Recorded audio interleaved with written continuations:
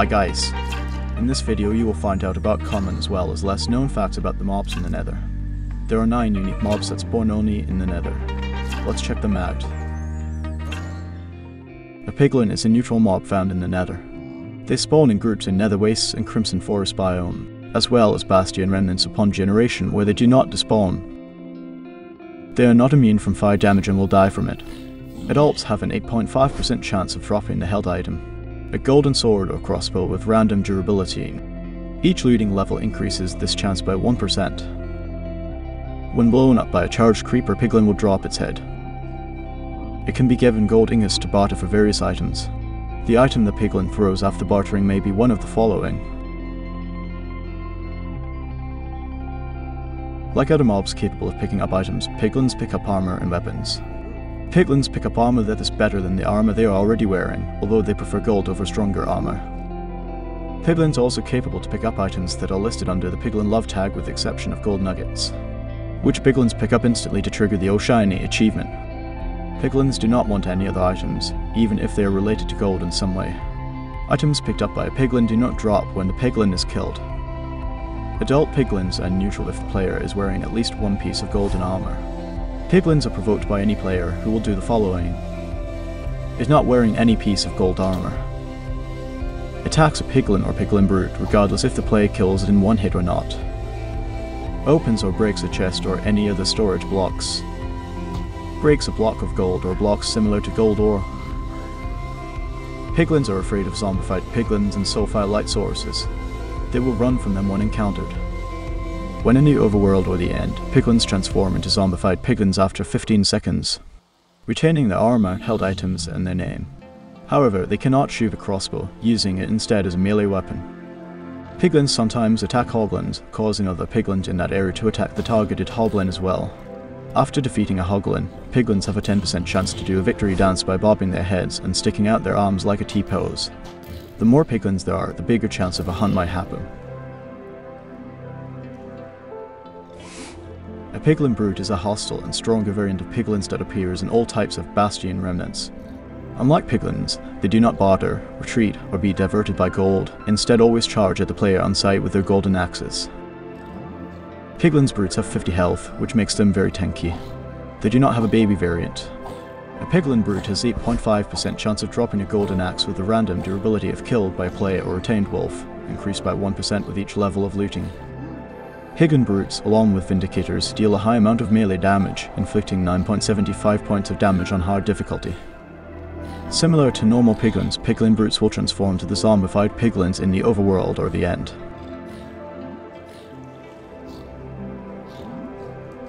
A zombified piglin is a neutral, undead variant of the piglin that inhabits the nether. Zombified piglins normally ignore players, but if one is attacked, all zombified piglins in the vicinity become enraged and attack the aggressor with their golden swords. Zombified piglins spawn in groups in the nether at light level 11 and below on most blocks other than nether wart block. When a nether portal block in the overworld receives a random tick, there is a chance of 0.15% on hard difficulty for it to spawn a zombified piglin. They drop from 0 to 1 rotten flesh and gold nuggets upon death. They also have 2.5% chance to drop 1 gold ingot and 8.5% chance to drop the weapon it is holding. Unlike other zombie variants, zombified piglins do not attack villagers and wandering traders.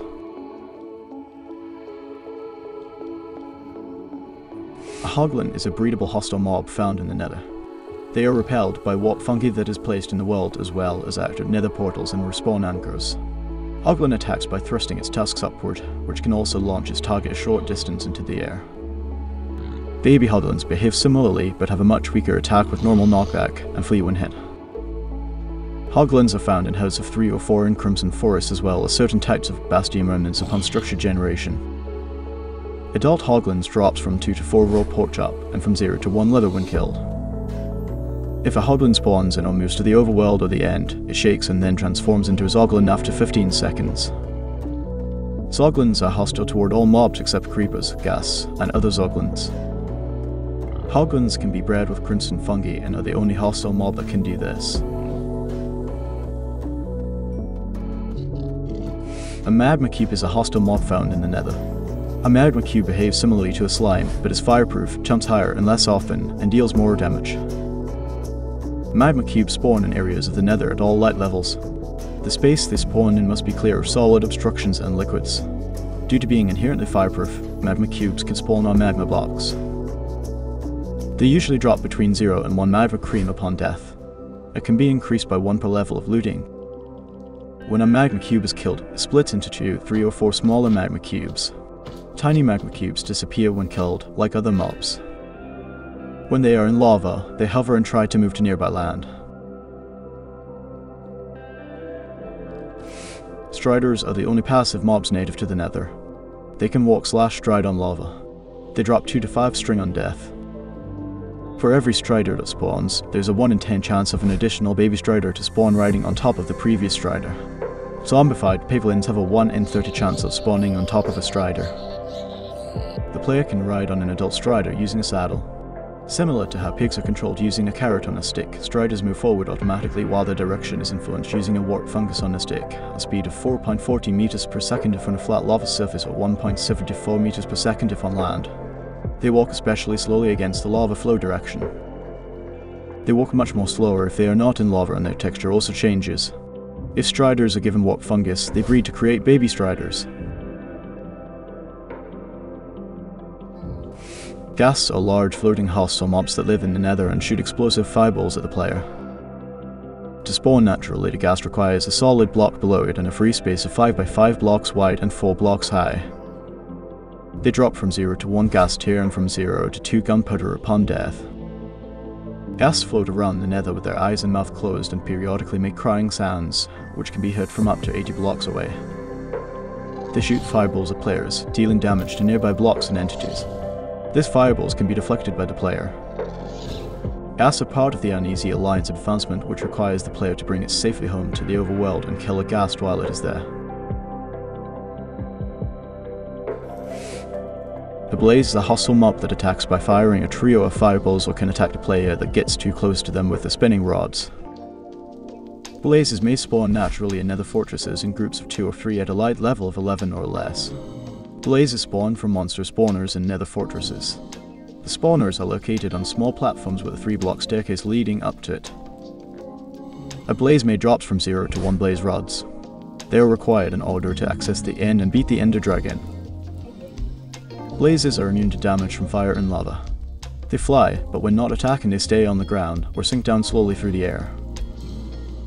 Blazes target players within 48 blocks, if a blaze is damaged by a player or other mob, it alerts other blazes within 48 blocks to target the attacker. Wither skeletons are tall black variants of skeletons that are equipped with stone swords that inflict the poison-like wither effect. They spawn in nether fortresses at a light level between 0 and 7 in groups of up to 4. Wither skeletons drop from 0 to 2 bones, they have 33% chance to drop one coal, 8.5% chance of dropping their unenchanted stone sword which has a random durability and 2.5% chance to drop a wither skeleton skull. These skulls are used to summon the Wither, an optional boss in Minecraft. Some Wither skeletons may have the capacity to pick up drop gear in normal and hard difficulties. The chance depends on regional difficulty, with up to 55% of them capable of picking up swords higher than stone tier plus any armor. This is it for the video. If you enjoyed it and want to see more videos like this feel free to leave a like and subscribe. Thanks for watching.